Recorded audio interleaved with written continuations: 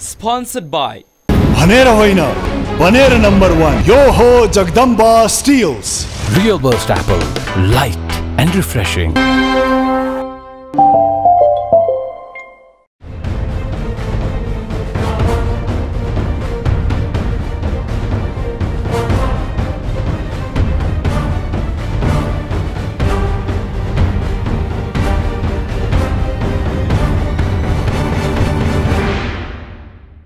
दर्शकहरू नमस्कार। अभिश्री टेलिभिजनको यो विशेष बहसमा यहाँहरूलाई हार्दिक स्वागत छ। म अनन्त अनुराग। राजनीति समाज परिवार र व्यक्तिको चाहना। यी विषयवस्तुहरूलाई ठ्याक्कै एक शब्दमा व्याख्या विश्लेषण गर्न नसकिँदो रहेछ। हामी सबै समयका दास हौँ। समयको वरिपरि हामीलाई घुमिरहनु पर्ने यो चक्रे चालमा हामी हिँडिरहेका हुन्छौँ। नेपालको राजनीतिमा एउटा सम्भावना बोकेका व्यक्ति हुनुहुन्थ्यो नेकपा का नेता पूर्व पर्यटन मन्त्री स्वर्गीय रविन्द्र अधिकारीज्यू हेलिकप्टर दुर्घटनापछि उहाँको अवसान भयो र समष्टिगत रूपमा पार्टीगत विषयवस्तुहरूलाई छोडेर कुरा गर्ने हो भने नेपालको राजनीतिमा एक होनहार व्यक्तित्वको असामयिक अवसान भएको आम रूपमा हामीले बुझ्यौँ। बारम्बार मैले पनि उहाँसँग अन्तर्वार्ता गर्ने मौकाहरू पाएको थिएँ। निकै भद्र तार्किक र व्यक्तिगत रूपमा पनि निकै सौम्यता किसिमको व्यक्तित्व हुनुहुन्थ्यो। यो प्रसङ्ग म किन जोडिरहेको छु भने अब यही मन्सिर चौध गते उपनिर्वाचन हुँदैछ र उहाँको अवसानपछि कास्की दुई नम्बर क्षेत्रमा सङ्घीय संसदको निर्वाचन हुँदैछ। र संयोग भनौँ उहाँकै जीवन सङ्गिनी विद्या भट्टराईजी त्यहाँ पार्टीको तर्फबाट उम्मेदवार हुनुहुन्छ। र हामी यो समय जुराएका छौँ। उहाँसँग केही तिता मिठा दुःखद सुखद हिजोका दिनका कुराहरू आजका कुराहरू र भोलिका भविष्यका कुराहरू गर्नेछौँ। निर्वाचनको रिजल्ट के होला त्यो आम जनताको हातमा पक्कै छ तर एउटा व्यक्तिको हैसियतले एउटा होनहार नेताको जीवन सङ्गिनीको हैसियतले एउटा समाजलाई ज्ञान बाँड्ने प्राध्यापकको हैसियतले र एउटा जागरुक नेपालीको हैसियतले र पक्कै पनि उम्मेदवार भइसकेपछि यी एजेन्डाका कुराहरू हामी उहाँसँग गर्नेछौँ कास्की दुईका नेकपाका उम्मेदवार विद्या राईजीलाई कार्यक्रममा स्वागत गरौँ विद्यार्थी स्वागत छ यहाँलाई हजुर कार्यक्रममा धन्यवाद तपाईँसँग अन्तर्वार्ता गर्छु भनिरहँदा कहाँबाट सुरु गरौँ म आफै अन्यलमा थिएँ तर पनि रविन्द्र दाईसँगको लामो एउटा सञ्चारकर्मीको हैसियतले र नेताको बिचको सम्बन्धभन्दा भन्दा पनि हामी भावनात्मक रूपमा चाहिँ नजिक थियौँ र धेरै कुराकानी हाम्रो सेयर हुन्थ्यो। संयोगले उहाँको अवसान हुनुभन्दा अगाडि मैले अन्तिम अन्तर्वार्ता गर्ने मौका पनि पाएको थिएँ। As a individual Vidya Bhattarai स्वर्गीय रविन्द्र अधिकारीको जीवन सङ्गिनी र हिजोका दिनका एक जुझारु विद्यार्थी युवा नेत्री विद्या भट्टराईको यो तिन रूपलाई चाहिँ आफैलाई आफैलाई फर्केर हेर्दा चाहिँ कसरी हेर्नुहुन्छ? मलाई लाग्छ व्यक्तिको जीवन भन्ने कुरा समय सँगसँगै मोडिने गर्छ। मेरो जीवन पनि त्यही हो भनेर बुझ्छु मैले। हिजो जति बेला म छोरी विद्या भट्टराई थिएँ त्यो बेलाको मेरो जीवन। त्यसपछि म एउटा विद्यार्थी आन्दोलनको एउटा योद्धा अथवा विद्यार्थी आन्दोलनको एउटा कार्यकर्ताको रूपमा थिएँ र विद्यार्थी आन्दोलनलाई हाँकिरहेको एउटा सिङ्गो विद्यार्थीले एउटा आशा भरोसा गरेको एउटा चाहिँ कार्यकर्ता थिए त्यति बेलाको मेरो जीवन। र त्यो पछिको मेरो परिवारसहितको एउटा रमाइलो जीवन। र आज एक अब एक्लो र एउटा मेरो जीवनसाथी गुमाइरहेको जीवन। मैले आफ्नो जीवनको टर्निङ चारवटा टर्निङ पोइन्ट भनेर लिने गर्छु। र हरेक टर्निङ पोइन्टभित्र रमाइलो पक्ष पनि छ दुःख पनि छ तर मेरो पछिल्लो अवधि भनेको मेरो जीवनका लागि यस्तो क्षण हो जुन क्षण मैले जीवनमा कहिले परिकल्पना गरेको थिइनँ। तर पनि मान्छेका जीवन भन्ने कुरा चाहिँ अकल्पनीय हुँदो रहेछन्। परिकल्पना गरेको अनुसारको जीवन सधैँभरि नपाइदो रहेछ। त्यसले गर्दा त्यो परिकल्पनालाई बदल्न सक्ने हिम्मत र साथ बटुल्नुपर्छ भन्ने अवस्थामा चाहिँ अहिले म आइरहेको छु। शब्दहरू हुँदो रहेनछ यस्तो अन्तर्वार्ताहरू गर्दा र पनि सोध्नै पर्नेछ यो वज्रपातपछि तपाईँलाई आफूलाई सम्हाल्न छोरालाई सम्हाल्न घर परिवारलाई सम्हाल्न कति गाह्रो हुँदो रहेछ? अब यस्तो हो तपाईँ स्वाभाविक रूपमा वज्रपात पछिको के हुन्छ भन्ने पीडा त त्यो भोग्नेले मात्रै बुझ्ने हो होइन? जसले भोगिरहेछ त्यसलाई थाहा हुन्छ। हामी अब त्यो पक्कै पनि हजुर। अब जुन कुरा कल्पनै गरिएको थिएन हामी चाहिँ तपाईँ एक हिसाबले भन्दा कुनै कार्यक्रममा होइन एउटा राज्यको एउटा चाहिँ कार्यकारी निकायमा बसेको बेलामा कार्यक्रममा जाने सन्दर्भमा जुन घटना घट्यो अब हामी सँगै सँगै भइरहेको अवस्था त्यसपछि भरे फर्किएपछि र सँगै खाजा खाने भनेको अवस्था र पछाडि म मेरो काममा गइरहेको होइन? बच्चा स्कुल गइरहेको बाआमा पोखरा बसिरहनु भएको र उहाँ काम गरिरहेर सबैले अहिले उहाँलाई साथ दिनुपर्छ। हामी सबै आफ्नो काममा हुन्छौँ। उहाँलाई कुनै तनाव दिनुहुन्न भन्ने एउटा सामा हाम्रो पारिवारिक अन्डरस्ट्यान्डिङ भएको र उहाँलाई सफल गराउन परिवारको ठुलो साथ हुनुपर्छ भन्ने त्यस्तो एउटा परिकल्पना गरिरहेको अवस्थामा सोच्दै नसोचेको घटना घट्यो। सुरुमा त मलाई कस्तो भयो त्यो के हो के हो होइन? कति दिनसम्म त मैले हो र त्यो मलाई मात्रै भएन। मलाई अब आम अरू हाम्रो साथीहरू होइन? सिङ्गो जनसमुदायलाई पनि त्यस्तो फिल भयो। त्यो के हो त? अझ मलाई चाहिँ कस्तो हुन्थ्यो? परिवारको हामी सबैलाई एकछिन पछि आएर बोलाउने हो कि?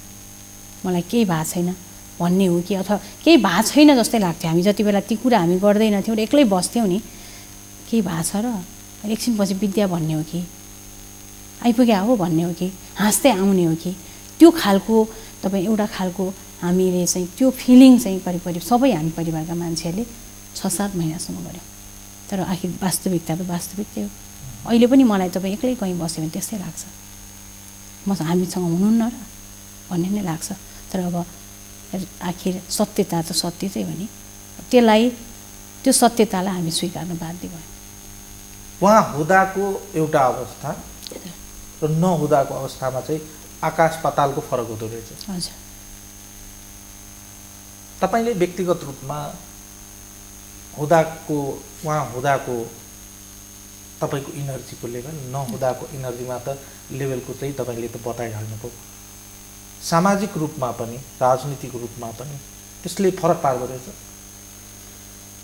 अब यस्तो हो यसमा चाहिँ मलाई के लाग्छ भने उहाँ हुँदा मैले जुन एउटा साथित्व पाइरहेको हुन्छु होइन मैले हरेक कुरामा उहाँले पनि मैले पनि। अब अहिले त अहिलेको अभाव त मैले भोगिरहेको छु। नि त्यसले गर्दा मलाई के लाग्थ्यो भने पहिला चाहिँ अब कुनै कुरा म अप्ठ्यारोमा छु भने एकपटक उहाँलाई सोधौँ न। होइन मैले निर्णय गर्नुभन्दा अगाडि मैले निर्णय गर्छु भन्दा नि हामी चाहिँ एकअर्कोलाई सोध्ने गर्थ्यौँ। त्यो सोध्ने भनेको हामी सरसल्लाहबाटै अगाडि बढ्यौँ। आजसम्मको हाम्रो बिस वर्षको जीवन हरेक कुरा सरसल्लाहबाटै अगाडि बढ्यो र मैले चाहिँ हरेक कुरा के गर्थेँ भने म यो गर्छु भने पनि एकपटक त सोधौँ न। भनेरै भन्ने गर्थेँ र अहिले मलाई के लाग्छ भने अब मैले कसलाई सोध्ने? पहिलो कुरा। दोस्रो चाहिँ कस्तो भन्दा तपाईँ उहाँ एकदम उत्प्रेरित गर्ने कि? यस्तो उत्प्रेरित गर्ने कि कुनै कुरा गर्न सकिन्न भन्ने नै उहाँको परिभाषाभित्रै थिएन। अनि हामीलाई पनि के भन्नुहुन्थ्यो भन्दा गर्न सकिन्न भनेर जब आत्मविश्वास हुँदैन नि केही पनि गर्न सकिन्न। किनभने आत्मविश्वास पहिलो कुरा हो भनेर जुन उत्प्रेरणा गर्ने उहाँको स्वभाव थियो त्यो कुरा चाहिँ मलाई यति धेरै खड्किन्छ अहिले पनि। त्यो उत्प्रेरणाले म आजसम्म एकदम इनर्जी भएर बाँचेको रहेछु भन्ने लाग्छ। त्यो चाहिँ मलाई अहिले एकदम अभाव फिल हुन्छ। मलाई मात्र होइन मेरो बच्चाहरू बाआमा सबै भाइ बहिनी सबैले त्यो अभाव चाहिँ परिवारभित्र महसुस गरिरहेको छ र मलाई परिवारभित्र भन्ने मात्रै लाग्दैन। कति उहाँसँग हिजो काम गरेका साथीहरू आज भेट्यो भने यही भन्नुहुन्छ। कति साथीहरूले भन्ने गर्नुहुन्छ अब पढ कसले भन्छ? तैँले मेहनत गर कसले भन्छ? तँसँग सिप चाहिन्छ दक्षता चाहिन्छ भनेर धेरैले भन्नुहुन्थेन। जुन कुरा रविन्द्र दाईले भन्नुहुन्थ्यो भन्ने धेरै साथीहरू हुनुहुन्छ। त्यसले गर्दा उहाँको त्यो एउटा मोटिभेसनल जुन एउटा चाहिँ उहाँको स्वभाव थियो त्यो मोटिभेसन गर्ने स्वभावले चाहिँ जुन एउटा एकाकार गरेको थियो सबैलाई जोडेको थियो म त स्वाभाविक रूपमा धर्मपत्नी भएँ सहयात्री भएँ म त जोडिने नै भएँ। रविन्द्र दाईको राजनैतिक उचाइ प्राप्तिमा तपाईँको बहुमूल्य योगदान छ। तपाईँ र रविन्द्र दाई बिचको स्वाभाविक रूपमा श्रीमान श्रीमती बिचका एक एउटा रिलेसन सामाजिक रिलेसन त हुँदै नै भयो तर एउटा साथीको रिलेसन एउटा मित्रको रिलेसन र। एउटा सल्लाहकारको रिलेसनलाई चाहिँ तपाईँले फर्केर हेर्दा चाहिँ कसरी हेर्नुहुन्छ? मलाई कस्तो लाग्छ भने हामीले पहिला पनि होइन हामी एउटै सङ्गठनमा थियौँ। दुवैजना एउटै कमिटीमा थियौँ। त्यति मात्र होइन उहाँ महासचिव हुनुहुन्थ्यो म सचिव भएँ केही समय तर धेरै समय म महिला विभाग प्रमुख उहाँको साध्यक्ष हुनुभयो र पछि सचिव हुनुभयो। त्यसले गर्दाखेरि कस्तो भन्दा अब एउटै कमिटीमा बसियो तर हाम्रो त्यति बेला उहाँसँग मात्रै होइन। हाम्रो त्यो टिममै कस्तो थियो भन्दा एउटा खालको हार्दिकतापूर्ण वातावरण थियो कि हामीले काम गर्दाखेरि होइन? अब त्यो टिममा भएको सबैले एकअर्कोलाई सम्मान गर्ने अवस्था थियो। त्यसले गर्दा एउटा त्यो वातावरण थियो भने उहाँ र मेरो बिचमा त स्वाभाविकमा एउटै कमिटीमा थियौँ तर पनि कहिले मैले के महसुस गर्दैन थिएँ भने एउटै कमिटीमा हुनेहरू प्रतिस्पर्धी हुन्छ भन्ने खालको महसुस भइ नसकेको एउटा अवस्था। अर्को विवाह गर्ने बेलामा हामी एउटै कमिटीमा थियौँ। मैले विवाह गर्नुभन्दा अलिकति अगाडिदेखि नै जब म मास्टर पढ्न सुरु गरेँ त्यसपछि अब पढ्नुपर्छ भन्ने कुरा अलिक महत्त्वपूर्ण हुँदै गएको थियो त्यति बेला राजनीतिभित्र। अब चाहिँ पढ्नुपर्छ। हिजो पढ्नुपर्छ भन्ने थियो बिचमा फेरि के भयो? आन्दोलनले तिमु पढ्नुपर्छ भन्ने कुरालाई अलिक कमजोर बनायो। अनि बिस्तारै अब पढ्नुपर्छ ने विद्यार्थी नेताहरू पनि अलिकति दक्ष हुनुपर्छ केही न केही कुरामा। राजनीति भनेर एउटा बाटो मात्रै पक्रेर हिँड्ने भन्दा नि राजनीतिले अरू डाइमेन्सनसँग जोडेर हेर्न सक्नुपर्छ भन्ने विचारहरू चाहिँ आउन थालेको थियो सामाजिक रूपमा। र हामी पनि अब आन्दोलन भनेर एकरो कार्यकर्ताको रूपमा मात्रै भन्दा पनि अरू समाजका अरू क्षेत्रहरूसँग पनि जोडिएर जानुपर्छ भन्ने कुराहरूले अहिले जोडिने प्रयत्न पनि गर्न थालेका छौँ। थियौँ त्यति बेला। त्यो कारणले पनि होला बिस्तारै मैले चाहिँ के गरेँ भन्दा उहाँको जुन एउटा राजनीतिक उचाइ बढिरहेको थियो। उहाँ त्यति बेला विद्यार्थी आन्दोलनको अध्यक्ष हुनुहुन्थ्यो। त्यो हिसाबले पनि मलाई के लाग्यो भन्दा मैले उहाँलाई साथ दिएँ भने। मैले आफ्नो आफूले चाहिँ म यो गर्छु भनेर त कहिलेकाहीँ आफू पनि अगाडि बढ्न नसक्ने अर्को पनि अगाडि बढ्न नसक्ने हुनसक्छ नि त। भनेपछि मैले उहाँलाई साथ दिएँ भने उहाँले चाहिँ राजनीतिक आन्दोलनको नेतृत्व गरेर अगाडि बढ्न सक्नुहुन्छ होइन? भन्ने कुरालाई मैले एकदम हृदयदेखि नै मनन गरेँ। त्यहाँ मेरो कुनै हिन्ताबोध पनि थिएन कुनै कुण्ठा पनि थिएन र कुनै उहाँप्रतिको एउटा म रविन्द्रसँग बिहा गरेपछि म पछाडि परेँ भन्ने मेरो कुनै भावना पनि थिएन। र त मलाई के लाग्छ भने हाम्रो जीवनमा चाहिँ एउटा खालको साथीत्व साथीत्व सँगसँगै एकले अर्कोलाई सहयोग गर्नुपर्छ भन्ने पारस्परिक समन्वयको आधारमा हुने सम्बन्ध र यो सम्बन्ध भनेको छोटो होइन। यो सम्बन्ध लामो छ र त्यो लामो सम्बन्धलाई टिकाउने आधारहरू हामीले निर्माण गर्नुपर्छ भन्ने एउटा समझदारीपूर्ण सम्बन्धको रूपमा थियो भन्ने मलाई लाग्छ तपाईँसँगैका कतिपय राजनीति गर्नुभएका हिजोका नेत्रीहरू अझै पनि चाहिँ। राजनीतिमै हुनुहुन्छ संयोगले मलाई लाग्छ म यदि गलत छैन भने सच्याउनु होला रविन्द्र दाईसँगैका सहयात्री अध्यक्ष हुनुहुन्थ्यो होला योगेश। भट्टराई चाहिँ अध्यक्ष हुनुहुँदा चाहिँ तपाईँहरू सबैजना। तपाईँ महिला विभाग प्रमुख। सबैजना एउटै समितिमा काम गर्नुभएको हजुर थियो हजुर रविन्द्र दाई पनि मन्त्री हुनुभयो। सांसद हुनुभयो दुई तिन पटक। संयोगले चाहिँ योगेश भट्टराई अहिले चाहिँ सांसद हुनुहुन्छ मन्त्री हुनुहुन्छ। तपाईँ पनि राजनीतिमा फर्केर आउनु भएको छ। अघि तपाईँले बताउनुभयो बिहे भइसकेपछि रविन्द्र दाईसँग। रविन्द्र दाईलाई सहयोग गर्दा रविन्द्र दाई अझै राजनीतिक हाइटमा पुग्नुहुन्छ भने तपाईँको आत्मविश्वासको कारणले गर्दा तपाईँ ब्याक बसेर चाहिँ सपोर्ट गर्नु भएन राजनीतिमा घर चलाउनु पनि महत्त्वपूर्ण हुँदो रहेछ। त्यही भएर तपाईँले चाहिँ यता शिक्षण पेसालाई चाहिँ रोज्नुभयो। हजुर। हामीले राजनीतिलाई एउटा क्षेत्र भनेर बुझ्ने होला नि होइन? जसरी तपाईँ संस्कृति एउटा क्षेत्र हो शिक्षा एउटा क्षेत्र हो जस्तो म एउटा समाजशास्त्रको विद्यार्थी पनि भएको भएर हामीले सामाजिक संस्था भनेर पढ्ने गर्छौँ होइन? त्यसमा परिवार समाजको तपाईँ बेसिक अथवा प्राइमरी इन्स्टिट्युसन भन्न भन्छौँ हामीले प्राथमिक संस्था भन्छौँ। भने राजनीति होइन त्यसपछि तपाईँ शिक्षा यिनीहरू भनेर चाहिँ दोस्रो द्वितीय संस्था भन्ने गर्छौँ। भनेपछि तपाईँ त्यो पहिलो संस्थासँग का कुराहरू म्यानेज भएन भने द्वितीय संस्थाहरू कसरी चल्न सक्छन् त्यसले गर्दा तपाईँ आज तपाईँ जस्तो रा राजनीतिलाई सञ्चालन गर्ने कुरामा जब राजनीति अरू आयामहरूसँग जोडिन सक्दैन नि त्यति बेलासम्म राजनीतिले एउटा गतिशीलता निर्माण गर्न सक्दैन। भन्ने लाग्छ मलाई। र हिजो पनि मलाई के लाग्यो भन्दा तपाईँ हो मेरो एउटा चाहिँ इच्छा थियो राजनीति। कुनै बेला मेरो त्यो प्राथमिकता थियो राजनीति। तर पछाडि मलाई के भन्दा राजनीति जस्तै अरू क्षेत्रलाई पनि प्राथमिकता दियो भने त्यहाँ पनि सफल हुन सकिन्छ नि त। राजनीति एउटा क्षेत्र हो। त्यो क्षेत्र परिवर्तन हुँदै हुन्न सधैँभरि भन्ने होइन नि। एउटा आन्दोलनले मलाई त्यो क्षेत्रमा पुर्यायो। म हिजो आन्दोलनमा लागेँ। त्यो आन्दोलनप्रतिको मेरो जागरुकताले मलाई त्यहाँ पुर्यायो भने मैले जब त्यसै गरी अरू क्षेत्रमा पनि म जागरुक भएर लागेँ भने त्यहाँ पनि त मैले आफूलाई स्थापित गर्न सक्छु नि। होइन? त्यो त राजनीति भन्ने कुरा तपाईँ एउटा छुट्टै विषय होइन। त्यो पनि समाजको एउटा पाटो हो। जसरी अरू समाजका पाटाहरूसँग सम्बन्धहरू निर्माण हुँदै गर्छ राजनीतिसँग पनि समाजका अरू तपाईँ परिवार जोडिएन होइन?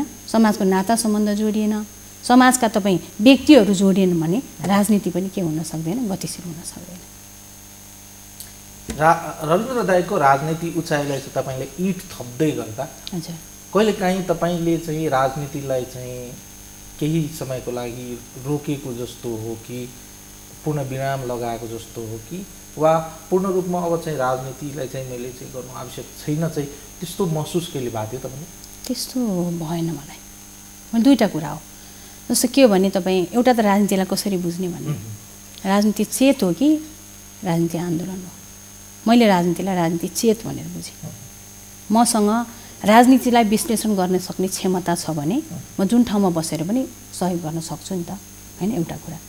अर्को कुरा तपाईँ के हो भने जस्तो राजनीति गर्न जो जो मान्छे राजनीति गर्न म अब निरन्तर मेरो जीवन राजनीति हो भनेर अगाडि बढाएको छ भने उसलाई अर्को मान्छेले साथ दिँदा उसले त्यो आफ्नो जीवन्ततालाई कहिले पनि पूर्ण विराम लगाउनु पर्दैन भन्ने अवस्था छ भने उसलाई साथ दिनु पऱ्यो नि त दोस्रो कुरा। अर्को कुरा म मेरो जीवनमा राजनीतिसँग कहिले जोडिनँ र? हिजो सुरुको अवस्थामा म कार्यकर्ता थिएँ होइन? विद्यार्थी आन्दोलनमा आउँदाखेरि। त्यसपछि भनेको तपाईँ म रविन्द्रजी निरन्तर राजनीतिमा रहिरहनु भयो जब एउटा व्यक्ति राजनीतिमा रहिरहेछ भने परिवार त्योबाट टाढिन सक्छ र? सक्दैन नि। रविन्द्रजीले गर्ने हरेक कुराहरूले त हामीलाई प्रभाव पारिरहेको हुन्छ नि त होइन? त्यो विचारले मात्रै होइन। उहाँ उहाँ चाहिँ तपाईँ क्रियाशील ढङ्गले लागिरहँदाखेरि त्यहाँ साथीभाइ आउने कुरा साथीभाइहरूलाई सहयोग गर्ने कुरादेखि लिएर तपाईँ राजनीतिभित्र हुने हरेक खालका परिघटनाहरूले त हामीलाई असर गरिरहेको हुन्थ्यो नि प्रभाव पारिरहेको हुन्थ्यो नि होइन? अर्को कुरा तपाईँ म के भयो भने म विद्यार्थी सङ्गठनबाट जब विद्यार्थी मास्टर गरेपछि म विद्यार्थी सङ्गठनमा रह रहन पनि त पाइनँ। अहिले पनि कुरा उठिरहेछ नि त कुन उमेरसम्म रहने भन्दा मैले छिटै छोडेँ। होइन मैले एकदम तपाईँ बाइस पुगेर तेइस राख्दा मैले छोडिसकेको थिएँ। मैले छिटो सुरु गरेँ र छिटै पनि छोडेँ विद्यार्थी आन्दोलन। तर म महिला आन्दोलनसँग जोडिराखेँ। कहिले विभागीय सदस्य भएर रहेँ कहिले केन्द्रीय कमिटीमा रहेँ। त्यस्तै गरी तपाईँ म बुद्धिजीवी परिषदमा बसेँ होइन? त्यसै गरी तपाईँ पार्टीका विभागहरूमा बसेँ। तर मैले के गरेँ भन्दा तपाईँ एउटा मर्यादा राख्नुपर्छ भन्ने कुरा मलाई लाग्थ्यो। जब म पेसामा गएँ नि म चाहिँ तपाईँ कहिले विकास क्षेत्रभित्र गएँ होइन? जस्तो तपाईँ एउटा समय म सडसठीदेखि सत्तरीसम्म म चाहिँ डेभलपमेन्ट फिल्डमा काम गरेँ। त्योभन्दा अगाडि म सामुदायिक प्राइभेट क्याम्पसहरूमा पढाएँ होइन? त्यसपछि म त्रिभुवन विश्वविद्यालयमा स्थायी भएँ। भनेपछि मेरो फरक फरक क्षेत्रमा म जाँदा मलाई के लाग्थ्यो भने हरेक क्षेत्रका आफ्ना मर्यादा हुन्छन्। त्यो मर्यादालाई कायम गर्नुपर्छ। त्यसले गर्दा मैले आफ्नो राजनीतिक पृष्ठभूमिलाई त्यहाँ जोडेँ भने कहिलेकाहीँ के हुनसक्छ? आग्रहहरू आउन सक्छ नि त। राजनीतिक आग्रहले त्यो क्षेत्रलाई प्रभाव पार्न सक्छ नि त। त्यसकारण मैले के राखेँ भन्दा एउटा मर्यादाभित्र रहेर काम गर्नुपर्छ भन्ने कुराले मेरो हिजोको पृष्ठभूमिलाई के गर्यो? ओजेलमा पार्यो। होइन? ओजेलमा पार्यो भन्ने अहिले लाग्यो। म राजनीतिमा निस्किएपछि सक्रिय हुन्छु भनेपछि। तर मलाई के लाग्दैन भन्दा एउटा परिवारको मान्छेलाई सक्रिय बनाउन अर्को परिवारको सदस्यले खेलेको भूमिकालाई कसरी हेर्ने? उसले अप्रत्यक्ष रूपमा ब्याक सपोर्ट हामी भन्छौँ नि जसरी फ्रन्ट लाइनमा आउनका लागि त ब्याक सपोर्ट इम्पोर्टेन्ट होला नि पारिवारिक समर्थन नभइकन नभइकन। पारिवारिक सहयोग नभइकन नभइकन। एक एकजना राजनीति गर्ने राजनीतिक कर्मी सफल हुन सक्दैनन् भने। मान्यता चाहिँ अझै पनि हाम्रो समाजमा स्थापित नभएको वा नबुझेको वा बुझेर पनि बुझ पचाएको अवस्था हो अहिले हाम्रोमा कस्तो भन्दा त्यो राजनीतिलाई हेर्ने हाम्रा दृष्टिकोणहरू नि अलिकति सत्तामुखी छन् के राजनीति हो। हामीले राजनीतिलाई कसरी हेरिरहेको छौँ भन्दा शक्ति शक्तिको रूपमा मात्रै हेरिरहेको छ। तर सैद्धान्तिक रूपमा चाहिँ के बुझ्नु पर्यो भने राजनीति र सत्ता भनेको अलग हो भनेर बुझ्नु पर्यो। अलग हो। राजनीति जीवन होला नि त। राजनीति दर्शन होला नि। होइन र? राजनीति विचार होला नि त। राजनीति भनेको पद्धति पनि हो। पद्धति पनि हो। प्रणाली पनि हो। भनेपछि त्यो राजनीतिक प्रणालीलाई निरन्तर सञ्चालन गर्नका लागि कुन विधिबाट जाने? कस्ता व्यक्तिहरू त्यहाँ पुग्ने? होइन? अनि ती व्यक्तिलाई कस्ताहरूले साथ दिने? भनेको उनीहरूको कस्तासँग सम्बन्ध हुने? पारिवारिक रूपमा पनि? अरू तपाईँ समाजसँगको सम्बन्धको रूपमा पनि भन्ने अहिले बहसको विषय बनिरहेको छैन र बनिरहेछ नि। भनेपछि हाम्रो सन्दर्भमा के हो भने तपाईँ मैले हिजो राजनीतिमा अगाडि बढाउनका लागि जुन म पर्दा पछाडि बसेर मैले आफूलाई प्राज्ञिक मर्यादाभित्र राख्दै मैले जुन भूमिका खेलेँ होइन? त्यो भूमिकालाई गणना गरेरै हो नि त आज मैले चाहिँ। अब म राजनीतिमा निस्किन्छु अथवा पार्टीले आज मलाई जुन गणना गर्यो नि त्यो भने के भन्दा मैले हिजोको मेरो पृष्ठभूमि बिचको मेरो तपाईँ म चाहिँ पर्दा पछाडि रहेर खेलेको भूमिका होइन? ले नै आज मलाई यो स्थान पाएको भन्ने लाग्छ। दुईवटा अझै कुरा गरौँ त्यसपछि राजनीतिका आयामहरूको बारेमा कुरा गरौँ। राजनीतिमा आर्थिक पनि एउटा पाटो हुँदो रहेछ हजुर एकदम। मैले जति थाहा पाएको थिएँ रविन्द्र दाईको बारेमा धेरै धनी पनि होइन धेरै गरिब पनि होइन मिडल क्लासको फ्यामिलीबाट तपाईँहरू बिलोङ्स गर्नुहुन्छ। एज अ विद्या भट्टराईलाई खान बस्न लाउन वा बाल बच्चाहरूलाई चाहिँ शिक्षा दीक्षा दिनको लागि चाहिँ राजनीति नै गर्नु पर्दैन वा अन्य कुनै व्यवसाय गर्न। अलरेडी तपाईँ एउटा प्रोफेसनमा हुनुहुन्छ। अनन्तकालसम्म तपाईँ त्यो प्रोफेसनमा निरन्तर रहेर एउटा सामान्य जीवनयापन गर्न सकिन्छ। आर्थिक रूपमा चाहिँ तपाईँहरूलाई चाहिँ कुनै समस्या छैन अहिले। एउटा कुरो बताइदिनुहोस् अब आम रूपमा। राजनीति गरिसकेपछि आफूलाई चाहिँ कति पारदर्शी राख्नु पर्छ राजनीतिज्ञहरूले आफूलाई पारदर्शी राख्नै पर्छ। अब यस्तो हो तपाईँ के हो भने तपाईँले अघि भने जस्तै हामीलाई परिवार पाल्नैका लागि पेसा गर्नुपर्ने अवस्था होइन। तर एउटा पहिचानमा के? आफ्नो छुट्टै व्यक्तिको पहिचान हुन्छ नि। व्यक्तित्व निर्माणका लागि होइन? जस्तो मैले राजनीति गरिरहँदाखेरि त मेरो व्यक्तित्व निर्माण नहुन पनि सक्थ्यो नि त। होइन र? आज तपाईँ कति श्रीमानहरू र श्रीमतीहरू त सँगै राजनीति गर्नुभएको छ नि। सँगै सांसद पनि सँगै। सांसद। संयोगले कति पटक त यस्तो पनि देख्यो कि सँगै क्याबिनेटमा मन्त्री पनि हुन मन्त्री पनि हुनुभयो तर हामी आलोचना गरिरहेछौँ नि फेरि। होइन? श्रीमानको योगदानलाई चाहिँ कदर गरेर मन्त्री भएको भन्छौँ। तर सँगै भयो भन्ने नाममा श्रीमतीको योगदानलाई चाहिँ हामी के गर्छौँ भन्दा अवमूल्यन गरिरहेछौँ नि त। होइन? भनेपछि तपाईँ मैले हिजो काम गरिरहँदा पनि हिजो काम गरेका सन्दर्भमा म त्रिभुवन विश्वविद्यालयमा आफ्नो जुन एउटा छुट्टै आइडेन्टिटी बना बनाइरहेको थिएँ नि त्यो बेलामा मैले चाहिँ तपाईँ यदि त्यो गर्न नसकेको भए विद्या छुट्टै एउटा विद्या नै हो प्रा विद्या प्राध्यापक हो भन्ने त बनाउन सक्दैन थियो होला। होइन एउटा कुरा। अर्को कुरा तपाईँ के भन्दा स्वाभाविकमा राजनीतिक गर्ने जो ज्योति राजनीतिज्ञहरू छौँ हामी हुनुहुन्छ र अब म पनि त्यही भित्र अब प्रवेश गरिसकेँ होइन मैले आफूलाई भन्दा पनि त्यसरी नै होइन भनेको अब अब पहिचान त्यता बदलिँदै गयो नि। भनेपछि हजुर। हाम्रो चाहिँ तपाईँ के हुनु पऱ्यो भन्दा एउटा तपाईँ नीति हुनु पऱ्यो होइन? पारदर्शी बनाउने नीति हामीसँग कति छ? नेताहरू पारदर्शी हुनका लागि नीति हुनु पऱ्यो पहिलो कुरा। त्यो नीति अनुसारको व्यवहार हुनु पऱ्यो र त्यो व्यवहार अनुसारको आचरण हुनु पऱ्यो मैले देखेको के भन्दा पारदर्शिता भन्ने कुरा चाहिँ तिनवटा कुरासँग जहिले पनि जोडिन्छ। जस्तो अब हामी पारदर्शी हुनु पऱ्यो पारदर्शी हुनु पऱ्यो त भन्यौँ। तर कुन नीतिमा टेकेर पारदर्शिताको व्याख्या गर्ने त नि? पहिलो त नीति नै चाहियो नि त होइन? त्यो नीतिलाई तपाईँ पालना गर्ने चाहिँ फेरि के हो? हाम्रा व्यवहारहरू हुन्। हामी कस्ता व्यवहारहरू देखाइरहेछौँ बाहिर। त्यसले त्यो नीतिलाई फलो गरिरहेको छ कि छैन भन्ने कुरालाई पुष्टि गर्छ भने त्यो व्यवहारका आचार आधारमा हाम्रा आचरणहरू। हाम्रा आचरणहरू कसरी हामी हामी हामीसँग छ? त्यो आचरणका आधारमा पनि हामीलाई मूल्याङ्कन गर्ने हो। भनेपछि तपाईँ पारदर्शिता भन्ने कुरा तिनवटा कुरासँग जोडिन्छ। एउटा चाहिँ के गर्नु पऱ्यो भन्दा पारदर्शी बनाउनका लागि राज्यले बनाएका नीतिहरूले नै कति व्यक्तिलाई पारदर्शी बनाउन? हरेक व्यक्तिलाई। राजनीतिज्ञलाई मात्र होइन। भन्दा आज त राजनीतिकहरू पारदर्शी हुनुपर्छ भन्ने नीतिहरू त बनिरहेछ नि त।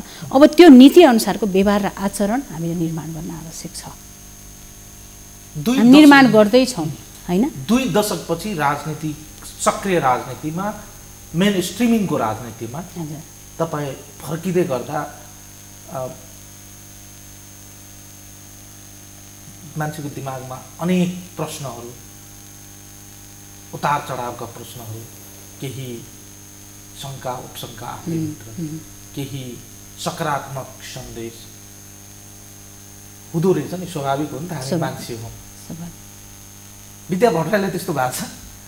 पच्चिस वर्षपछि चाहिँ हिजोको एउटा जोसिलो विद्या भट्टराई फेरि पुनः चाहिँ एउटा नयाँ स्वरूपमा सक्रिय राजनीतिमा आउँदै गर्दा त्यस्तो किसिमका मनभित्र अनेक प्रश्नहरू अनेक उत्तरहरू अनेक चाहिँ कुराहरू चाहिँ खेल्दो रहेछ। त्यस्तो धेरै चाहिँ मलाई भएको छैन। किनभने म राजनीति मेरो लागि नयाँ क्षेत्र त भएन नि त। होइन र? किन तपाईँ जस्तो म काम गर्न पो जान्थेँ त विश्वविद्यालय। तर घरमा आइसकेपछि त फेरि पनि मेरो वातावरण त राजनीति नै राजनीतिक वातावरणै हो नि। होइन र? त्यसबाट मलाई एकदम फरक ठाउँमा म आइरहेको छु भन्ने त कहिले नि महसुस भएको छैन। तपाईँ एक्टिभ रोलमा हुनुहुन्न थियो। रोलमा यति मात्रै हो कि हिजो म पदीय हिसाबले होइन? पदीय हिसाबले एकदम म नेतृत्व गर्ने तहमा थिइनँ। थिइनँ। तर मैले विचारहरू त विभिन्न हिसाबले पार्टीमा पनि पुर्याइरहेको थिएँ नि त। कार्यक्रमहरूमा म सहभागी हुन्थेँ। म तपाईँ शिक्षा विभागमा थिएँ अगाडि होइन? एकीकरणभन्दा अगाडि म तत्कालीन एमालेको शिक्षा थिएँ। यस्तो लाग्दो हो यस्तो लाग्दो हो तर म प्रश्न गर्ने चाहे यो हजुर हजुर। राजनीति गर्ने व्यक्तिहरूका लागि राजनीतिको परिभाषाहरू बुझाइहरू अनुभवहरू फरक होला। तपाईँको तिनवटा भूमिकालाई।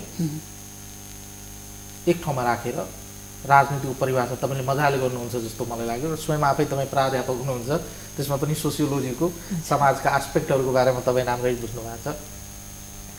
विद्यार्थी विद्या भट्टराई। एउटा चर्चित नेताको जीवन सङ्गिनी घरमा चौबिस घन्टा राजनीतिक गफ गाफ बुझाए उतार चढाव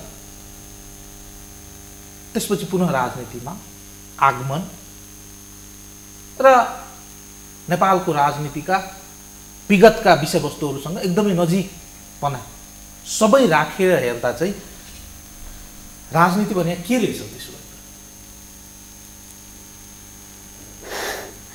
अब तपाईँ के हो भने राजनीति भनेको तपाईँ एउटा चाहिँ प्रणाली नै हो। राजनीतिक प्रणाली नै हो। तर त्यो प्रणालीलाई हामीले कस्तो बनाउने भन्ने कुरा चाहिँ राजनीतिज्ञहरूको सम्बन्धका आधारमा त्यो निर्माण हुन्छ भन्ने लाग्छ मलाई होइन? राजनीतिज्ञहरूको सम्बन्ध कोसँग छ? त्यो दलको मात्रै कुरा गरिनँ मैले सिङ्गो पोलिटिसियन पोलिटिसियनहरूको सम्बन्ध कोसँग छ? भन्ने आधारमा चाहिँ तपाईँ के हुन्छ प्रणालीहरू कसरी परिष्कृत हुँदै जान्छ भन्ने कुरा हो। जस्तो आज हामीले के भनिरहेछौँ त लोकतन्त्र हाम्रो प्रणाली हो नि त होइन? लोकतन्त्र पनि समावेशी लोकतन्त्र। लोक कल्याणकारी राज्यको अवधारणा बोकेको अझ समाजवाद उन्मुख होइन? लोकतन्त्रको हामी कुरा गरिरहेछौँ भनेपछि त्यो लोकतन्त्र निर्माणका लागि अब हाम्रा राजनीतिज्ञहरूको सम्बन्ध चाहिँ कोसँग हुने त भन्ने कुरा इम्पोर्टेन्ट छ भन्ने लाग्छ मलाई। त्यसले गर्दा तपाईँ राजनीतिक प्रणाली हो र त्यो प्रणाली भनेको चाहिँ जहिले पनि समाजका विभिन्न आयामहरूसँग जोडिएर जान सक्नुपर्छ। हिजोसम्म हामीलाई के लाग्थ्यो भन्दा राजनीति भनेको आन्दोलन मात्रै हो भन्ने लाग्थ्यो। होइन? त्यही भएर हामी के गर्थ्यौँ भन्दा को बढी चाहिँ अलिकति लडभिड गर्न सक्छ त्यस्ता कार्यकर्ताहरू बढी खोज्थ्यौँ। होइन र? हिजोसम्म। जस्तो म पनि हिजो विद्यार्थी आन्दोलनमा हुँदा मैले दुईवटा कुरा चाहिँ इम्पोर्टेन्ट हो भन्ने लाग्थ्यो। एउटा तपाईँ लडभिड गर्न जान्नु पऱ्यो होइन? अर्को चाहिँ तपाईँ के हो भन्दा इस्युहरू त्यति बेलाका विद्यार्थीका इस्युहरूलाई बोकेर मिठो भाषण गर्न कला हुन पऱ्यो होइन? किन भन्दा मिठो भाषण किन गर्नु पऱ्यो भन्दा म चाहिँ ओपन फोरम भयो नि त विद्यार्थी क्षेत्र त होइन? त्यसले गर्दा त्यहाँ चाहिँ धेरै मासलाई कन्भिन्स गर्न सक्ने क्यापासिटी पनि चाहियो त्यो सँगसँगै लडभिड गर्न सक्ने अर्को सङ्गठनसँग जुझ्न सक्ने शारीरिक रूपमा त्यस्तो पनि चाहियो। त्यो थियो हिजो। तर पछि के हुँदै आयो भन्दा फेरि तपाईँ राजनीति अर्थतन्त्रसँग जोडियो। जस्तो राजनीतिज्ञहरूले तपाईँ जीवन अब कसरी जिउने त? मुद्दाहरू उठाउन उनीहरू निरन्तर राजनीति गर्न अब उनीहरू चाहिँ के के हुनु पर्छ भन्दा आर्थिक रूपले पनि सबल हुनु पऱ्यो भन्ने कन्सेप्ट आयो। त्यहाँभित्र राम्रा नराम्रा कुरा आयो होला। त्यो म मान्दिनँ तर राजनीति अर्थतन्त्रसँग जोडियो। तर अब राजनीति केसँग जोडिँदैछ भन्दा शिक्षासँग जोडिँदैछ। होइन? त्यसले गर्दा के हो भन्दा समयक्रमसँगै जसरी समाजको विकास हुँदै जान्छ नि त्यस्तै राजनीतिक प्रणाली पनि के हुँदै जान्छ? परिष्कृत हुँदै जान्छ। त्यही भएर आज के हुँदैछ भन्दा अब तपाईँ राजनीतिभित्र हिजो मैले भने जस्तो मुद्दा पनि जोडिनु पर्यो। राजनीतिलाई उठाउन सक्ने भिजन पनि चाहियो। त्यो भिजन सँगसँगै अब के भयो त भन्दा राजनीति चाहिँ शिक्षा अर्थतन्त्र अरू समाजका पाटोहरूसँग पनि जोडेर जानुपर्छ भन्ने कन्सेप्ट आयो नि त। चाहिँ राजनीति एउटा प्रणाली हो जुन अरू सामाजिक प्रणालीहरूसँग जोडिँदै परिष्कृत हुँदै जान्छ। मैले बुझेको राजनीति चाहिँ त्यही हो। रविन्द्र दाईको राजनीतिक आयात अलिक फराकिलो भइसकेको थियो। हजुर। अब उहाँकै पदचाप पछ्याउँदै फेरि चाहिँ तपाईँ मेन स्ट्रिम राजनीतिमा आउँदै हुनुहुन्छ। हजुर। उहाँको यो विरासत चाहिँ थाम्न थाम्ने विषयले तपाईँले कुन रूपमा लिनु भएको छ? यो चुनौती हो अवसर हो वा के हो तपाईँको लागि? अब यो तपाईँ यसलाई दुई हिसाबले लिनुपर्छ भन्ने लाग्छ। एउटा त विरासत हो नै होइन? अर्को म आफै पनि त राजनीतिक पृष्ठभूमिको हो नि त। अनि आज हामी के भनिरहेछौँ भने राजनीतिभित्र चाहिँ महिलाहरू आउनुपर्छ भनिरहेछौँ। होइन? महिलाहरू आउनुपर्छ भनिरहेछौँ। भनेपछि म जतिको महिला राजनीतिमा आउने कुरा विरासत त हो किन भन्दा उहाँको अवसानपछि म आएँ त्यसमा मलाई कुनै धक छैन कि? होइन? श्रीमती भएर आयो भन्ने कुराको कुरालाई म एकदम सकारात्मक हिसाबले लिन्छु। म श्रीमती भएरै रहेँ बिचमा त्यसमा मलाई कुनै तपाईँ हिन्ताबोध छैन। होइन? तर के हो भन्दा म जतिको मान्छे राजनीतिमा आउनु हुन्थ्यो कि हुन्थेन त फेरि। हामी अरू यतिको मान्छे यति योग्यता भएको मान्छे हरेक हिसाबले मसँग पृष्ठभूमि पनि छ। बिचमा मैले तपाईँ परिवार बनाउन रविन्द्रजीलाई रविन्द्रलाई एउटा उचाइमा पुर्याउन खेलेको भूमिका पनि छ। मेरा भूमिका पो परिवर्तन भयो त। तर आज आज राजनीतिका लागि मेरो भूमिका चाहिँ आवश्यक थियो कि थिएन त? भन्दा थियो नि त।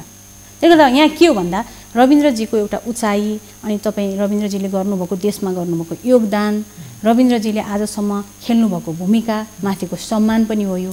अर्कोतिर विद्याले हिजो राजनीतिमा गरेको योगदानको पनि कदर हो भनेर मैले लिएको छु। जस्तै अघि नै तपाईँले सुरुमा एउटा विषय उठान गर्नुभएको थियो म छुट्याएँ जस्तो लाग्यो फेरि पनि म त्यही फर्केँ। एकातर्फ चाहिँ रविन्द्र दाईको विरासत थाम्ने कुरा त स्वाभाविक हो त्यो तपाईँले बताउनु भयो यो विरासत थाम्ने कुराको लागि मानसिक रूपमा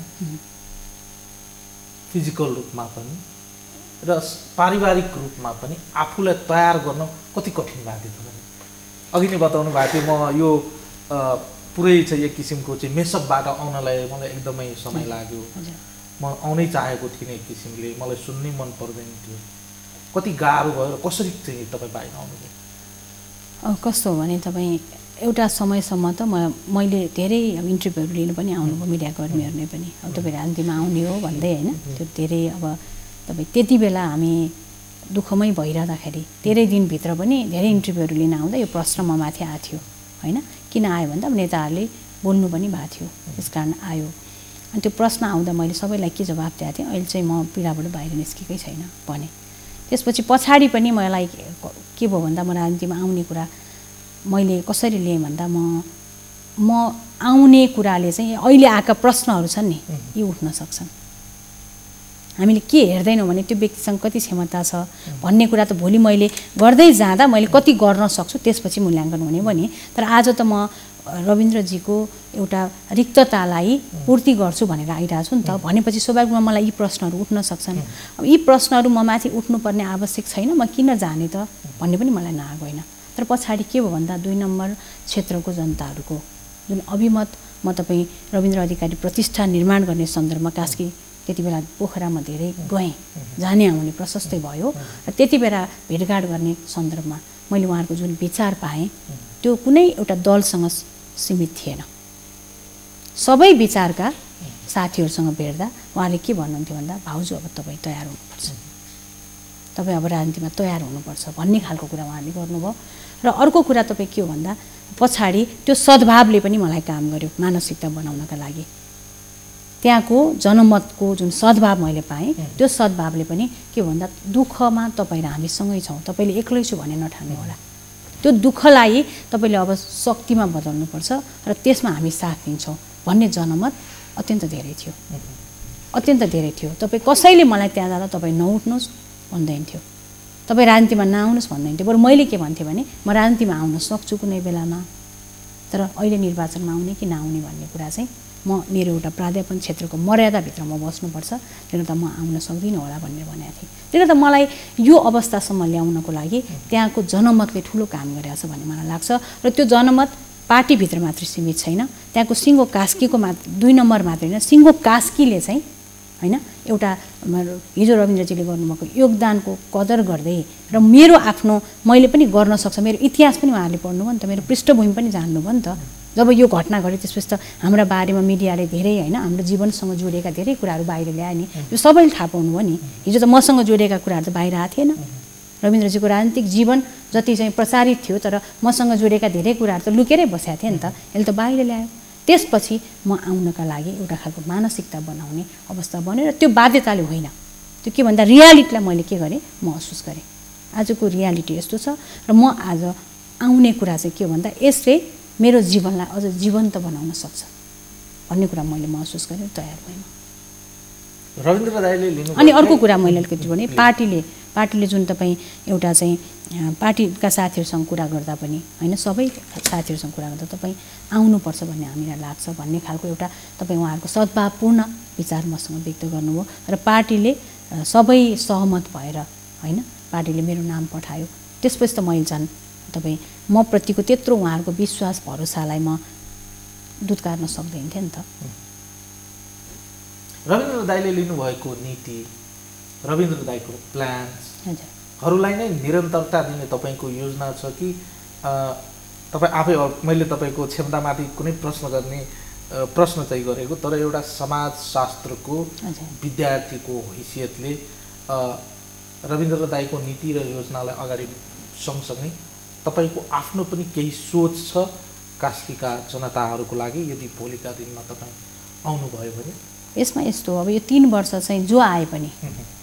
अब हामीले भनिरहेछौँ नि फरक विचारको आउँदा अघिल्लो कसले कुन जनप्रतिनिधिले जित्याएको थियो त्यो कुरालाई दुधकार्न त अर्को आउँदा पनि त सक्दैन नि त होइन? भनेपछि तपाईँ यो पाँच वर्ष त रविन्द्रजीले त्यहाँको जनतासँग प्रतिबद्धता व्यक्त गरेका कुराहरूलाई नै हामीले चाहिँ पुरा गर्न लाग्नुपर्छ होइन? र म मैले पनि के हो भन्दा अब यो तिन वर्ष भनेको यो यो त उपनिर्वाचन हो नि त। आम निर्वाचन त होइन। उपनिर्वाचन भनेपछि अगाडि निर्वाचनमा जे जे घोषणाहरू गरेका छ त्यहाँ पुरा गर्छु भनेर। र जे जे प्रतिबद्धताहरू व्यक्त गरेका छ त्यसलाई नै यो तिन वर्षभित्र बाँकी रहेका कुराहरूलाई पुरा गर्नुपर्ने दायित्व ममा आउँछ। मैले त्यसरी बुझ्छु। एज अ तपाईँ भोलि निर्वाचित प्रतिनिधिका हिसाबले कुरा गरिरहँदा चाहिँ म मैले तपाईँ रिक्त रहेको हिजोको प्रतिनिधिको रिक्त रहेको अवस्थालाई पुरा गर्न आएको हो नि त। भनेपछि मैले चाहिँ तपाईँ त्यही तिन वर्षमा जति गर्न बाँकी छ नि त्यो बाँकी रहेका कुराहरूलाई पुरा गर्ने कुरामा म के हुन्छु कटिबद्ध हुन्छु। पहिलो कुरा। दोस्रो कुरा भोलि म राजनीतिज्ञको हिसाबले अथवा पार्टीभित्रको कार्यकर्ताको हिसाबले र भोलि राजनीति गर्दै जाने सन्दर्भमा चाहिँ कतिपय मेरा विचारहरू भोलि पार्टीका लागि आवश्यक पर्यो राजनीतिका लागि आवश्यक पर्यो र त्यो आवश्यकता छ भन्ने मलाई बोध भयो भने मैले त्यसपछि आफ्नो हिजो म समाजशास्त्री हिसाबले निर्माण गरेका विचारहरूलाई पनि त्यहाँ जोड्दै लान्छु। होइन? तर अहिले तपाईँ काम गर्ने सन्दर्भमा चाहिँ म त्यहाँको जनप्रतिनिधिको हिसाबले काम गर्ने अवस्थामा चाहिँ हिजोको रिक्त रहेको अवस्थालाई नै म पूर्ति गर्न आएको र त्यसमा टेकेर नै म भिजनहरू चाहिँ बनाएर जाने हो भन्ने मलाई लाग्छ। एउटा सडकको टिप्पणी चाहिँ के रह्यो भने संवेदनाको आधारमा तपाईँलाई उम्मेदवार बनाइँदैछ संवेदनाकै आधारमा आम जनताले मतदान गर्लान् वा विद्या ट्राईको आफ्नै एउटा योगदान आफ्नै एउटा पहिचान विद्या भट्टराईको अन्य पक्षलाई पनि हेरेर मतदान गर्ला। के को आधारमा तपाईँलाई मतदान होस् अब यसमा दुईवटा कुरा हो। एउटा तपाईँ रविन्द्रजीको योगदानलाई तपाईँले संवेदना मान्नुहुन्छ भने त्यो संवेदनै हो। योगदानलाई जनताले त हेरिरहेछ नि त यत्रो वर्षदेखि। तिन तिन पटक जिताएको हो नि त। रविन्द्रजी संवेदना भन्ने शब्द प्रयोग गर्न त्यति रुचाएन हजुर। यसलाई चाहिँ म रविन्द्र अधिकारीप्रतिको सम्मान हजुर सद्भाव सद्भाव। र उहाँले नीति लिनुभएको नीति र योजनाहरूप्रतिको आम समर्थनको रूपमा म बुझ्न चाहन्छु। हजुर त्यही नै हो। जस्तो एउटा पहिलो कुरा के हो भने रविन्द्रजी तिन तिन पटक जित त्यहाँ चाहिँ विजय हासिल गर्नुभयो। र तपाईँ रविन्द्रजीसँगको सम्बन्ध चुनाव मात्रै थिएन। उहाँ जनताको हर पल होइन जनताको साथमा हुनुहुन्थ्यो। र एकदम तपाईँ त्यहाँको एउटा जनप्रतिनिधि जुन चाहिँ हरेक नागरिकको मनमा बस्नु भएको थियो कि? त्यस्तो खालको जनप्रतिनिधिलाई अहिले पनि जनताले त सम्झिरहेछ नि त होइन? त्यो तपाईँले भने जस्तै त्यो सम्मान पनि हो त्यो सम्मान पनि जोडिएको छ। अर्को कुरा अब मेरो पनि तपाईँ यो घटनापछि धेरै कुराहरू जनताले थाहा पाइसक्नु भएको छ। म कस्तो भन्ने कुरा बुझिरहनु भएको छ होइन? त्यसले गर्दा एउटा म अब त्यो तपाईँ मलाई पनि परीक्षण जनताले गरिरहनु भएको छ भने अर्को रविन्द्रजीको योगदानको कदर पनि जनताले गर्नुहुन्छ। यो दुइटै पक्ष अहिले जोडिएर जान्छ। तपाईँ एक्लो उम्मेदवार पार्टीको तर्फबाट हुने निर्णय सार्वजनिक भइसकेपछि कास्कीका जनताहरूको प्रतिक्रिया तपाईँलाई पक्कै पनि आएको होला। आयो। उहाँहरूको प्रतिक्रिया के थियो? उत्साहित हुनुहुन्थ्यो सबभन्दा पहिला त। पार्टीले जुन तपाईँ एकल मेरो सिफारिस गर्यो नि सर्वसम्मत रूपमा त्यसलाई जिल्ला पार्टीलाई बधाई दिनुभयो उहाँहरूले धन्यवाद दिनुभयो। र जनमतलाई कदर गर्नुभयो जिल्ला पार्टीले भनेर एकदम खुसी हुनुभयो उत्साहित हुनुहुन्थ्यो र तपाईँ त्यो कुरा चाहिँ तपाईँ सामाजिक सञ्जालहरूमा देख्न सकिन्थ्यो। र त्यो सँगसँगै तपाईँले भने जस्ता केही क्वेसनहरू चाहिँ उठाएका छन् तर त्यो कास्कीबाट अथवा तपाईँ त्यहाँको क्षेत्रबाट भन्दा पनि होइन जसले मेरो पृष्ठभूमि थाहा पाउनु भएको छैन थाहा पाउन बाँकी छ उहाँले गरेका प्रश्नहरू चाहिँ अझै पनि छन् त्यसलाई पनि म सम्मान गर्छु। प्रश्न गर्न त पाइयो नि त। संसदीय त्यसले नै मलाई बद सुधार गर्दै लैजाने पनि हो नि त। संसदीय राजनीतिको बारेमा त तपाईँले भनिराख्नु पर्दैन सिकाइराख्नु पर्दैन। राजनीतिक दौडधुप शक्ति सङ्घर्ष पावर सेयरिङ र विचारको खिचातानी निरन्तर रूपमा भइरहनु स्वाभाविक प्रक्रिया नै हो। यसका लागि चाहिँ विद्या भट्टराई पूर्ण रूपमा चाहिँ अब तयार भएको हो राजनीतिको मूल्य मान्यता र प्रणाली लगायतका जति पनि विषयवस्तुहरू आस्पेक्टहरूको अगाडि पछाडि चाहिँ पोलिटिक्स घुमिराखेका हुन्छ एउटा पोलिटिसियन घुमिराखेका हुन्छ। त्यसको लागि पूर्ण रूपमा चाहिँ अब आफूलाई तयार गर्नुभएको छ त्यसमा। अब म राजनीतिक जीवनमा। सक्रिय रूपमा अगाडि बढ्छु। राजनीतिक आरोह अवरोहहरूलाई खेप्नका लागि अब म तयार भइरहेको। यसको अर्को पाटोबाट अलिकति फर्केर हेरौँ त। तपाईँको उम्मेदवारी अब एकल उम्मेदवारी हुने भयो पार्टीको तर्फबाट कुनै बिना रुकावट आम जनतामा सामाजिक सञ्जालहरूबाट पनि म यसो हेरिराखेका हुन्छु यो एक किसिमको प्रतिक्रियाहरू एक किसिमको उत्साहहरू देखिन्छ होइन अन्य पार्टीहरूले अझैसम्म पनि कसलाई उम्मेदवार बनाउने भन्ने कुराहरू पनि निकै चाहिँ विवादका विषयवस्तुहरू छन् नयाँ नयाँ आएका पार्टीहरूले पनि आफ्ना शक्तिलाई चाहिँ त्यहाँ मापन गर्ने चाहिँ एउटा थलोको रूपमा प्रयोग गरेको देखिन्छ। रविन्द्र दाईले जुन मार्जिनले चुनाव निरन्तर जित्नुहुन्थ्यो त्यसको मतान्तर फराकिलो हुने सम्भावना देख्नुहुन्छ? अब अहिलेसम्मको आकलन गर्दा चाहिँ देखिन्छ होइन?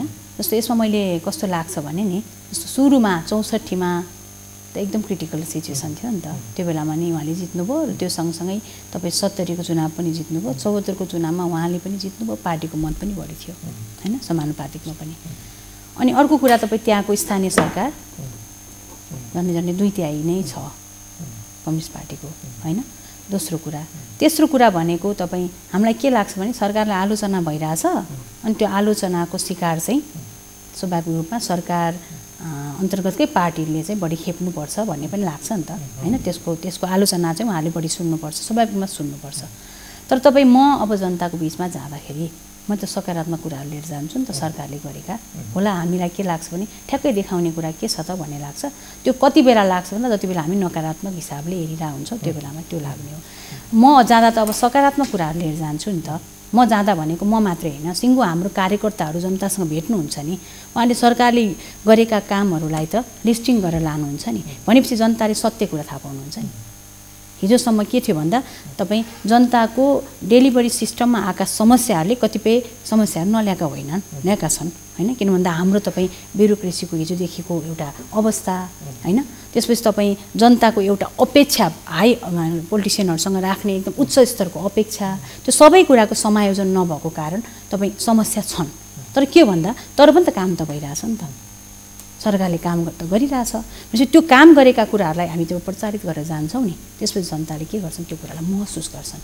त्यो महसुस गरेपछि मलाई लाग्छ आज जुन आलोचना छ नि त्यत्तिकै फेरि समर्थन पनि बढ्छ भन्ने लाग्छ। त्यस कारण मैले के देखाएको छु भने हामी निश्चिन्त छौँ। कास्की क्षेत्र नम्बर दुई हामी आन राम्रोसँग होइन तपाईँ हामी सुनिश्चित छौँ कि हामी मतान्तर कति के भन्ने भन्दा पनि हामी के गर्छौँ भन्दा राम्रोसँग विजय हासिल गर्छौँ। त्यो हिजोभन्दा आज हाम्रो कार्यकर्ताहरूको झन् के छ यो जसरी पनि जित्नुपर्छ भन्ने भावना छ। त्यो कार्यकर्ताको मात्रै छैन। त्यहाँ तपाईँ मैले गएर भेट्दाखेरि सबै खालका मतदाताहरू अहिले विद्या भट्टराले चुनाव जित्नुपर्छ भन्ने ठाउँमा हुनुहुन्छ नेकपाले चुनाव जित्नुपर्छ भन्ने ठाउँमा हुनुहुन्छ भनेपछि के भन्दा हामी त्यहाँ शानदार विजय हासिल गर्छौँ। जनताले नेकपालाई मतदान गर्ने कि विद्या भट्टराईलाई मतदान गर्ने? दुवैलाई विद्या भट्टराई नेकपाको एउटा एउटा चाहिँ ग्याप एज ग्याप भनौँ न अथवा विचार ग्याप भनौँ। हजुर। तपाईँ जति बेला सक्रिय राजनीतिमा हुनुहुन्थ्यो विद्यार्थी राजनीतिमा र त्यसपछि चाहिँ तपाईँ रविन्द्र दाईको छायाको रूपमा आउनुभयो आउनुभयो र अहिले चाहिँ तपाईँ उम्मेदवार भइरहँदा यो होल चाहिँ ग्याप चाहिँ बाइस तेइस वर्षको ग्याप पछि एउटा तपाईँले राजनीतिलाई चाहिँ प्यासिभ बनाउनु नयाँ व्यक्तिको जन्म हुनु र तिनीहरू चाहिँ अहिले तपाईँको मतदाता हुनु। यो नयाँ मतदातालाई रिझाउनको लागि कति कठिन होला जस्तो देखिन्छ यस्तो हो तपाईँ के भने अहिलेको मतदाता भनेको तपाईँ गएर भेटेर मात्रै मतदान गर्ने अवस्थामा छैन नि त। उनीहरूसँग तपाईँ ट्विटर छ फेसबुक छ होइन? त्यसपछि तपाईँ उनीहरूसँग इन्स्टाग्राम छ। अनि तपाईँ उनीहरू आज तपाईँहरू जस्तो मिडियाले चाहिँ हाम्रा बारेमा धेरै कुराहरू भनिरहनु भएको छ त्यो सबै अब्जर्भ गरिरहनु भएको छ नि त। होइन? त्यो अब्जर्भ गर्दा मेरो हिजोको पृष्ठभूमि पनि थाहा पाउनु भएको छ। म मेरो मेरो आजको वर्तमान पनि थाहा छ। र मैले भोलि के गर्छु भन्ने कुरा अब म जनताको बिचमा गएर बोलेका कुराहरू पनि उहाँहरूका पुग्छन्। भनेपछि तपाईँ व्यक्ति कति पुग्यो कहाँ बस्यो भन्ने कुराले मात्रै अब धेरै निर्धारण गर्दैन भन्ने लाग्छ मलाई। म आजको समाजलाई बुझ्न सक्ने छ कि छैन? आजको युवाहरूको मुद्दासँग म एक एकाकार भएर जान सक्छु कि सक्दिनँ? भन्ने कुरालाई पनि उहाँहरूले हेरिरहनु भएको छ। त्यसले गर्दा यो विद्या भट्टराई समाजशास्त्रको प्राध्यापक पनि हो। उसले हरेक कन्टेम्पोरेरी इस्युहरूलाई एनालिसिस गर्ने त्यो क्षमता छ। त्यो म दावाका साथ भन्छु। भनेपछि आजको युवाहरू भनेको त समाज कस्तो बनाउने भन्ने कुराका एउटा चाहिँ तपाईँ उनीहरू आजको चाहिँ इनर्जी हुन्। त्यो इनर्जीलाई लैजान सक्ने चेत मसँग छ भने मेरो सबै कुराहरू त उहाँले त्यो महसुस गर्नुहुन्छ नि। त्यो इनर्जीलाई लैजान सक्ने चेत मसँग छ भने आखिर तपाईँ राजनीतिक नेता भने त उसले चेत दिने न हो। उसले एउटा खालको तपाईँ डाइरेक्सन दिने न हो गाइडलाइन बनाउने न हो।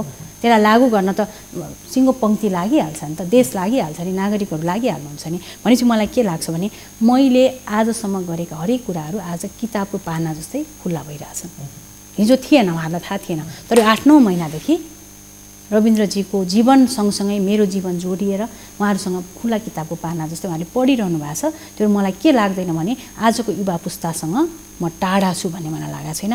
उहाँहरू उहाँहरू हरेकको मनमा म बसिरहेको छु भन्ने मलाई लागेको छ। अब अन्त्यतिर पनि म आएको छु। आम रूपमा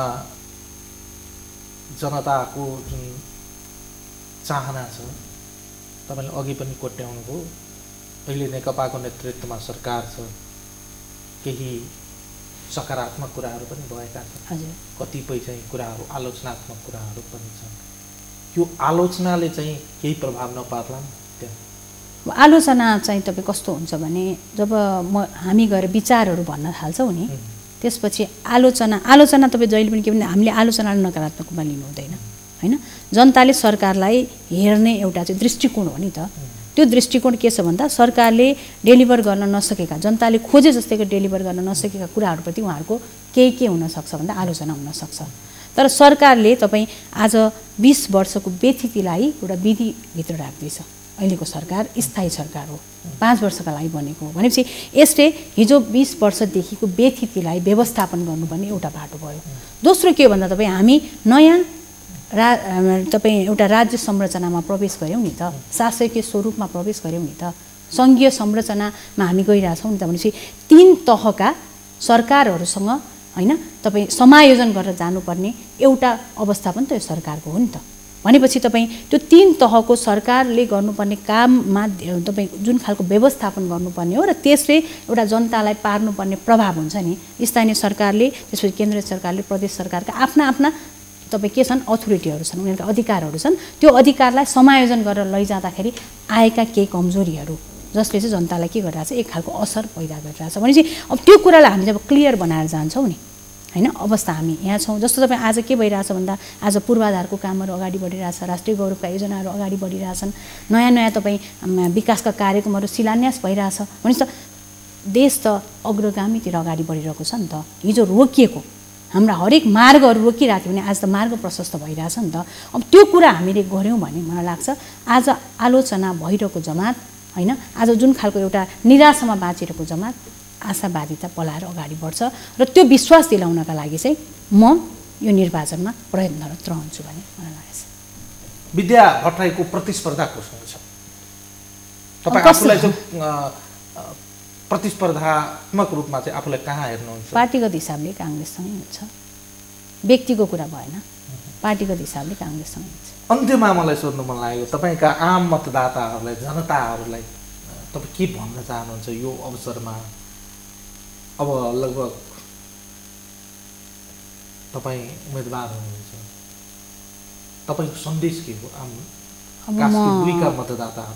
म चाहिँ त्यहीँको जनमत जुन एउटा जनताको माग अनुसारै म त्यहाँ उम्मेदवार बनेर आइरहेको छु र मलाई के लाग्छ भने मलाई हरेक जनताले मलाई चाहिँ आउनुपर्छ भन्ने उहाँहरूको मनोभावना अनुरूप म निर्वाचनमा भाग लिन गइरहेको छु त्यसमा मेरा इच्छा चाहना म चाहिँ राजनीतिमा आउनुपर्छ भन्ने मेरो धारणा आफ्नो ठाउँमा होला। तर अहिलेको त्यो एउटा जनमत जुन मैले प्राप्त गरेको छु त्यो जनमतलाई म अत्यन्त धेरै सम्मान गर्न चाहन्छु। उहाँलाई हार्दिक आभार व्यक्त गर्न चाहन्छु र म के भन्न चाहन्छु भने म राजनीतिक प्रतिस्पर्धामा आइरहेको छु। राजनीतिक प्रतिस्पर्धा भनेको तपाईँ यो खेल होइन। खेल खेल होइन यो प्रतिस्पर्धा हो। त्यो प्रतिस्पर्धामा अब्बल भएर जनताको मनमा बस्नेले नै विजय हासिल गर्ने हो। भनेपछि मलाई के लाग्छ भन्दा आज म एउटा प्रतिस्पर्धामा उत्रेको प्रतिस्पर्धी हुँ। र तपाईँहरूले त्यो प्रतिस्पर्धामा म मलाई विश्वास भरोसा गर्नुहुनेछ र त्यो तपाईँ सीमित एउटा पार्टीभित्र मात्र सीमित छैन किनकि हिजोको मेरो अनुभवले पनि त्यो देखाइरहेछ। मसँगको निरन्तर सम्पर्क संवादले पनि त्यो कुरा मैले बुझिरहेको छु। त्यसले गर्दा म कास्की क्षेत्र नम्बर दुई र कास्कीका जनताहरूप्रति सधैँ आफूलाई स्वच्छ इमान्दार एउटा निष्ठावान जनप्रतिनिधिको रूपमा अगाडि बढाउनेछु र म जनताहरूको बिचमा जनताको एउटा सेवक भएर अगाडि बढ्नेछु। त्यसकारण मैले त्यो आत्मविश्वासका साथ आज तपाईँहरूसँगै साथ रहने विश्वास दिलाउन चाहन्छु। भन्ने चाहिँ बताउन चाहन्छु। हस् त धन्यवाद। समय र संवादको लागि रिजल्ट के हुन्छ भन्ने कुरा आम जनताको हातमा छ। हजुर। तपाईँले हामीसँग जे अनुभूति अहिले साटासाट गर्नुभयो विगत वर्तमान र भोलिका तपाईँका आगामी दिनहरू शुभ रहन् तपाईँको जित होस् हामी पनि कामना गर्न चाहन्छौँ। राजनीतिमा प्रतिस्पर्धा त भइ नै हाल्छ तर स्वच्छ प्रतिस्पर्धा होस्। आम जनताले निर्भयपूर्वक निर्वाचनमा भाग लिन पाउन्। आम जनताले आफ्ना प्रतिनिधि चयन गर्न पाउन् समय र संवादको लागि आभार र धन्यवाद विद्याजी हजुर मलाई पनि यहाँ आएर विचार राख्ने र एउटा जनताहरू सामु मेरा सम्पूर्ण विचारहरू भन्ने जुन समय दिनुभयो त्यसका लागि म हार्दिक आभार व्यक्त गर्न चाहन्छु। धन्यवाद। दर्शकहरू उहाँ हुनुहुन्थ्यो कास्की दुई सङ्घीय संसदका उम्मेदवार नेकपा पार्टीबाट उम्मेदवार हुनुभएका विद्या भट्टराईज्यू। आजको लागि यो संवाद यति नै सम्पूर्ण युनिट लगायत मलाई पनि बिदा दिनुहोस् नमस्कार Sponsored by भनेर होइन बनेर नम्बर वान यो हो Jagdamba steels Real Burst Apple. Light and refreshing.